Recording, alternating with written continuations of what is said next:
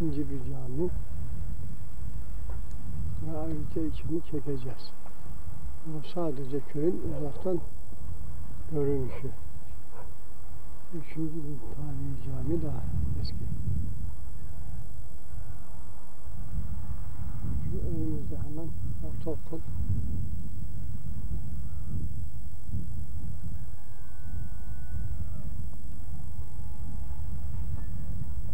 Beş yüz nüfuslu. Köyümüz on iki kilometre. Her zaman e, sebzesi çayda. Üçüncü bağcılık. Sebze. Diğer hububatlar, kuru tohumlu, bütün hububatlar ekilir. Meyvacılık da var.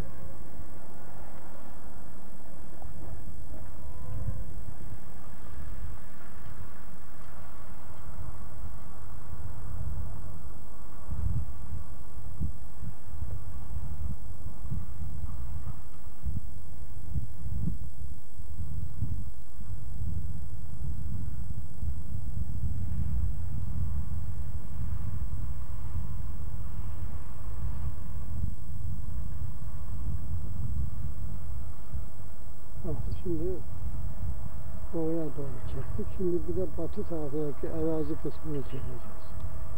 Biliyorsunuz hafif dalgalı düz arazidir.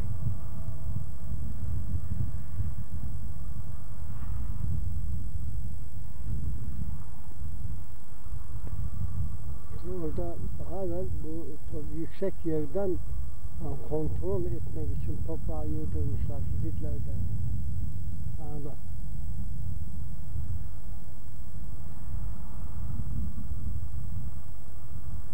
Sofras'ın batısındaki arazilerini çekiyoruz. Ee, yakınlarında bazı bahçeler var. Ve diğer zirai arazisini çekiyoruz. Şimdi köy hüzitleri dahilini tamamen içine alıyor.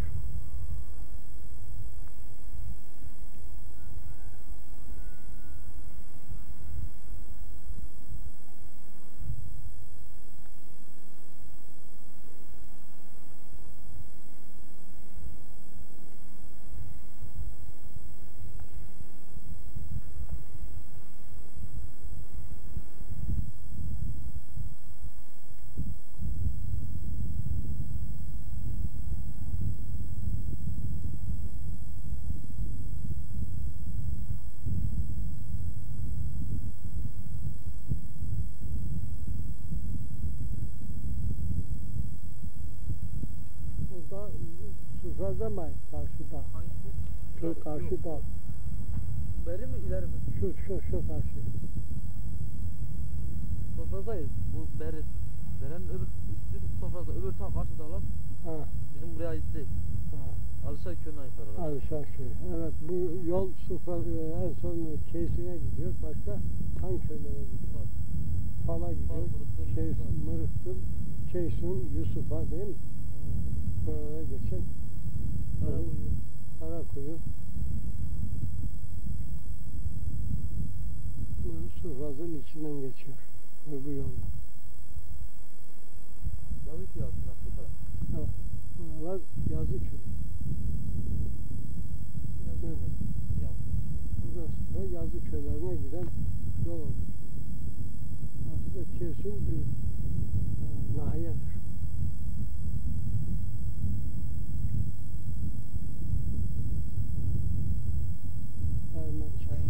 Burada gelince Surfat çayı adını alıyor.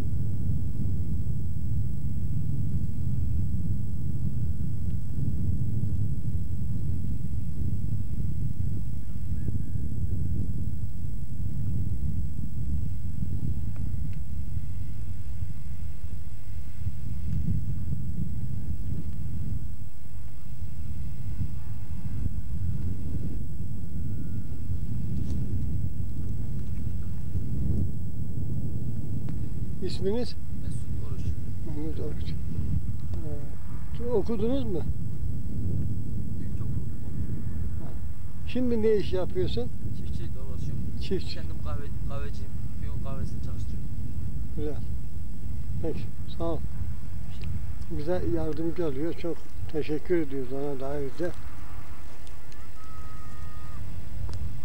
Bize yardımcı olduğu için ona da ayrı ayrı teşekkür ediyoruz. İşte bir Bağıstanlı köyden gelip Ceysun'a gidiş ediyoruz. Ha, Motorumuzun yağı şey olmuştu, bitmişti. ha, yağ aldınız. Yağ aldık. bakımını yaptınız. Şimdi işe gidiyorsunuz. Peki gecede çift sürüyorsunuz mu? Tabii tabii saat 9'a 10'a kadar İyi, güzel. sürüyoruz işte. Siz, traktör sizin yövmiyeler mi çalıştırıyorsunuz traktörü? Kendi tarlanıza. Tarla da bizim, traktör da bizim. Aferin. Allah hayırlı işler, başarılar dilerim. İsminiz? Yahya Köysün. Sağ ol. Teşekkür ederim. Muhtar odası var. Evet. Yeni yapılmış. Çok muntazam. Evet ismim İsmini soruyor. Mehmet Mehmet. Güneşleniyorsun değil mi?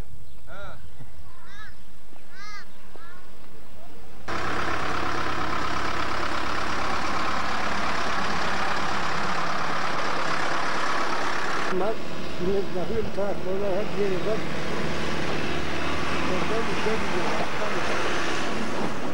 Şey, köyün içinden giden yol.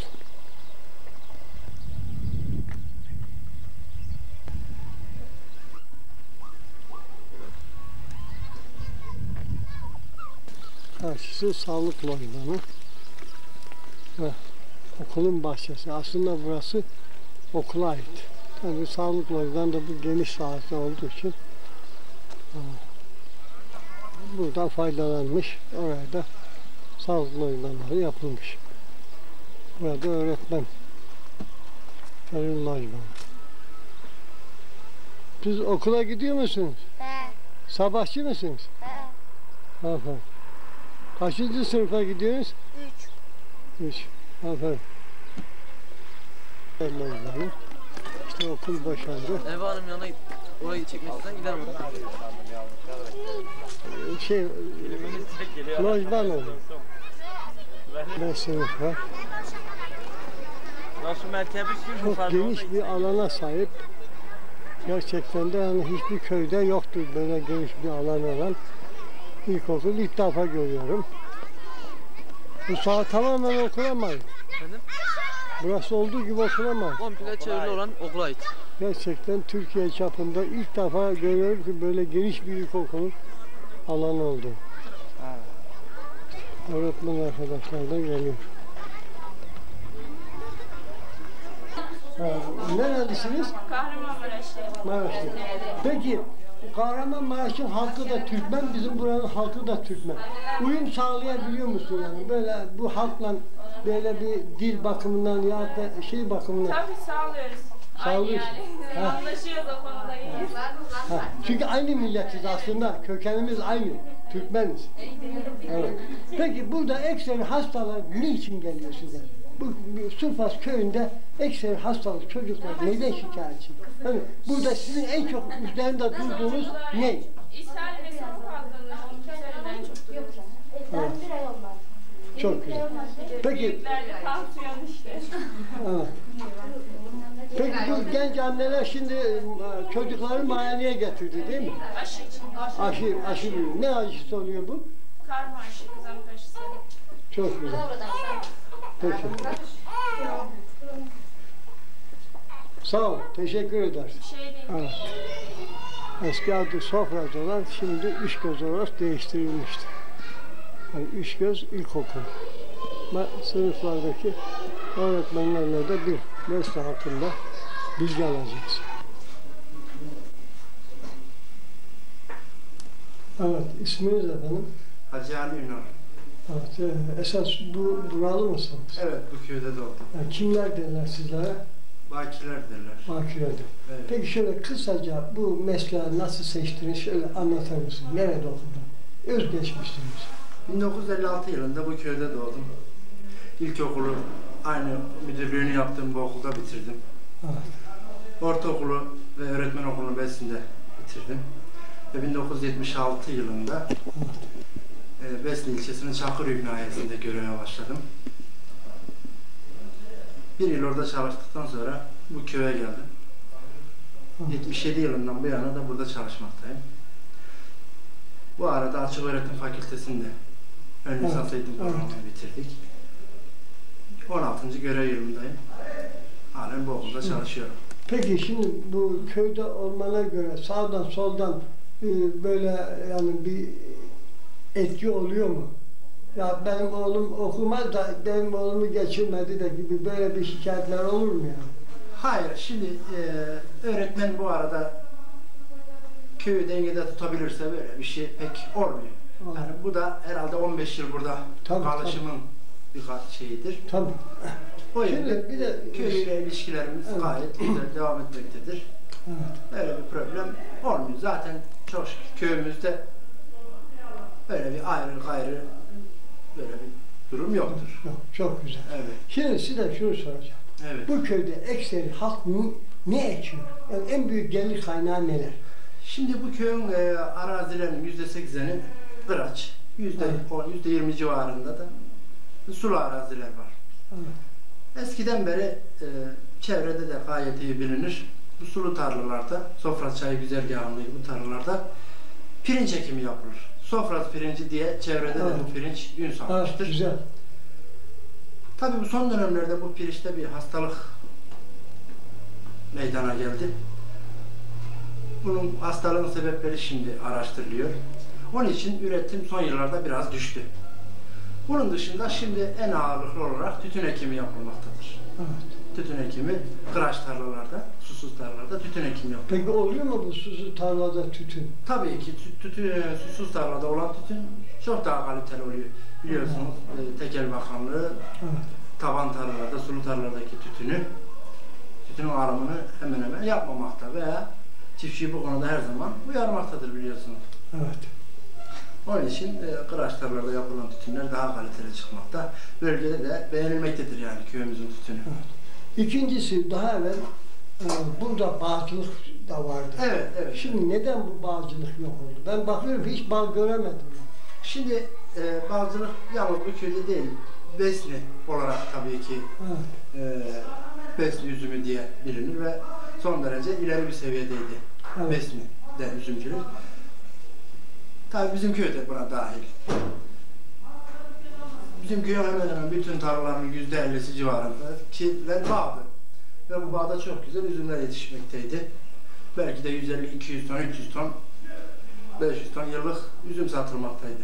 Evet. Fakat son dönemde bu herhalde zannederim Türkiye genelinde de böyle Evet. bağlarda bir hastalık söz konusu oldu. Bu hastalık neticesinde köyümüzde şu anda hemen hemen bağın tümü yok oldu. Peki bunu araştırmacılar ne diyor? Bu acaba ben diyorum ki şimdi bazısı diyor Evet. ki yanlış ilaçlamadan bunlar bu bağa da bu verim ve yapar diye yanlışlıkla ilaç attılar diyor. Aslında bağ fazla su istemeyen bir e, meyvedir yani. Onun için diyorlar bu e, kanser yaptı bağları diyorlar. Evet bu kurumasına sebep olan hastalığın adına kanser denmekte. Evet. Bu hastalığın adına kanser denmekte. Fakat bu artık ilaçlama neticesinde mi oldu veya başka bir sebepten mi oldu? Bunu e, ilgili kişiler, ilgili kurumlar herhalde araştırmaktadır. Tabii. Şimdi neden? Çünkü bundan Ama daha çaresi de zannederim bulunmadı. Çaresi şimdi Amerika'dan getirilen bir e, aşılı şeyler bu bizim yerli tiyekler. serpenesiz bitiyor onlar. Evet. Onların aşılanması neticesinde yeni bir bal türü geliştiriliyor. Fakat bizim köyde henüz daha böyle bir şey başlatan olmadı. Evet. İkincisi bu tarihi bir e, Surfaz e, şehri var. Şimdi Hititlerin yaptığı bir şehir var Hititlerin. E, buraya Kül şehir diyorlar. Gül şehir değilmiş. Şimdi bu hususta da bir bilginiz var mı? Evet, oranın şimdi- filmini çekeceğiz de. Evet. Şimdi e, E, sizin görüşünüz mevcut tarihi eserlerden de e, mevcut tarihi köyümüzde bulunan tarihi eser kalıntılarından da bilindiği üzere e, buranın çok tarihi eski bir yer, yerleşim yeri olduğu bilinmektedir. Evet. E, tarihte çeşitli kaynaklardan okuduğumuz kadarıyla buranın tarihi Komενege Krallığı'na kadar dayanmaktadır. Evet. Ee, köyümüzün şu anda 250 metre dışında olan bir minarede minare ayakta vardır. Bu minarenin dibinde biz çocukluğumuzdan beri biliriz. Şöyle halka bir taş vardır. Evet. Buraya halk e, efendim ziyaret diye çaput atar, tavuk keser, şey eder, bu ederdi. Evet. Ee, bazı kişiler e, bu taşı kaldırıp altını kazdığında Evet. Omegene Krallı'na ait Güneş Tanrıçası diye bir heykel çıktı. Bu heykel şu anda Gaziantep Müzesi'nde. Ki Evet. o da e, bu Komagene Krallığı'na kadar dayandığının ispatıdır. Bunun Evet. dışında 18 tane e, cami yeri mevcut şu anda. Evet. Köyde, köyün yaşlıları tarafından bilinen Evet. 18 tane cami yeri mevcut. 3 tane minaremiz, e, o e, Selçuklu döneminden kalma 3 tane minaremiz daha ayaktadır. Çeşitli hamam kalıntıları, köprü kalıntıları hepsi mevcut. Bunu gezilip görüldüğü zaman tespit edilecektir. E, Ondan sonra burada çok büyük bir hastalığın meydana geldiği söylenmekte. Evet. Bu hastalığın önüne geçilmesi mümkün olmadığından burayı yakmak zorunda kalmışlar. Köyü. Tümünü yakmak zorunda kalmışlar. Ve buraya o sebepten kül şehri denmiş. İşte bir dakika. Şimdi ben e, benim oğlan çocuk üniversitede araştırmacı benim. Evet. Oğlan. e, Hacettepe'de. Evet. Şimdi orada ben bir belgede okudum. Ee, yanma değil de bir e, sarsıntı olmuş yer oynayınca. Batmalı bir yer olmuş. Yıkılınca adı kül gibi dağılmış. Çünkü o zaman taşlar beton olmadığı için kalıp düşmemiş. Demek ki o zaman topraktan böyle bazı maddelerden yaptığı için daha düzgün kül şehir adını bundan alıyor. Şimdi orası Öyle burası da duyduk. ya, Öyle duyduk. oturma için şey olmuş yani. Çok güzel gül bahçeleri olduğunu bahsediyor yani. Evet zaten e, sofra gül bahçesi anlamında bir kelime. Ha. Yani lügata indiğin zaman. Evet. Öyle de söyleniyor. İşte bu bizim duyduğumuz kadarıyla, okuduğumuz kadarıyla bu yıkıntıdan, yıkıntı sonunda sağ kalan insanlar gitmiş bu eski besniği kurmuşlar. Evet. Eski besniği kurmuşlar. Sonra e, burada arazi kalan, arazileri kalanlar, mal mülkü kalanlar bilahare sonra e, gelmiş tekrar bu köyü kurup kurdukları. Buraya Öyle. bizim Türkmenler sonradan geldi. Şimdi buraya Türkmenler şimdi Besin'de birçok kitap yazmışlar. Evet. Besinler nereden geldiği bu kitapta yer yok. Şimdi yüzeyli. Aslında bizim Türkmenlerin gelişine ait belgeler e, bugün Asya'da her türlü kitaplar yayılmaya başladı. Hatta Çin'den, şuradan, buradan belgeseller çıktı. Biliyorsun bu İpek yolu çok yeri değişti. Ha, şimdi Kerbela olayı var bir tane. Bu Kerbela olayında 7000 Türkmen, 3500 Kürt aşiretler yani Eyyubiler. 1500 Afşarlar gönüllü olarak geliyorlar. Bu 12 günde Zat suyu savaşını kazanınca Eba Müslüm Halifeli Hazreti e, ab- e, amcasının oğlu Hazreti Abbas'ın oğlu Cafer Mansur'a halifeliği teklif ediyor, veriyor. Evet. Bu diyor size layık. O da bizim Türklerin İslam'a yaptığı katkıdan dolayı bu da Kuzey Suriye değilirdi. Ta Hazreti Ömer zamanında alınmış böyle Halif bin Velid. Her bir belgeler de var. yani. Ondan sonra bugün o günden bugüne İslamların elinde. Bize demişler ki bu Türkmenler buraya yerleşsin. Bu e, Romalılar güçlü bir devlet olduğu için e, hem de bunlara savunma bakımından demiş. Bizim altın bu Türkmen Bey gelmiş evvela şey, bunlar atlı olduğu için e, suvari olduğu için muhakkak at besleme suyu olan yer lazım. Evet. Böyle yerleşmiş. Arabandan Hassa'ya kadar Nikah'ta Fırat'tan bu tarafa kadar Kuzey olarak yerleşmişler. O günden bugüne se- 61 sene Horasan'dan buraya herkes sülalesi gelmiş, yerleşmiş. Bizim 1530 yılında Yavuz Sultan Selim tarafından bu Türkmen Beyliği bey- kaldırılıp Samsat'ta bir sancak yaparak saltanatına son verilmiş. Gerçek şimdi bu tarihe kadar bu şekilde geliyor. Evet. Evet. Peki, verdiğiniz bilgiden dolayı çok teşekkür ederim. Teşekkür ederim. Ne- başarılar dilerim. Bakın bakın. ya ya. Lan. Hocam bayağı uzağa gidiyorsunuz ha.